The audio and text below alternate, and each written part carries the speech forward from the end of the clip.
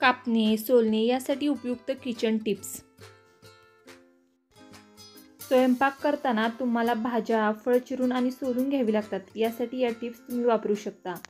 Tip number एक कांदा कापताना डोळे चुरचुरत असतील तर पंधरा मिनटे आधी कांदा सोलून त्याचे दोन तुकडे करा आणि पाण्यात भिजत ठेवा.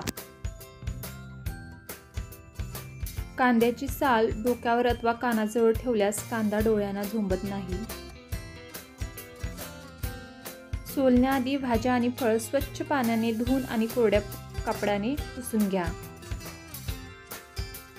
भाज्या आणि फळं खूप बारीक चिरू नका कारण दिसायला कितीही छान वाटलं तरी यामुळे त्यातील पोषक घटक कमी होतात.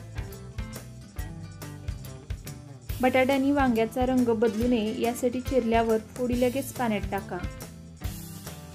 सफरचंदाचा रंग कापल्यानंतर काळा पडत असेल तर कापताना सफरचंदावर थोडं लिंबू चुळा. ज्यामुळे ते जास्त वेळ फ्रेश राहतील. कोथिंबीर जास्त काळ टिकण्यासाठी ती निवडून मऊ कापडात अथवा कागदात गुंडाळून ठेवा. गोड पदार्थासाठी बदाम चिरून टाकायचे असतील तर आधी ते पाण्यात भिजत ठेवा ज्यामुळे ते सोलणे आणि चिरणे सोपे जाईल. लाकडी चॉपिंग बोर्ड वापरल्यास फळ आणि भाज्या चिरताना चाकूची धार कमी होत नाही.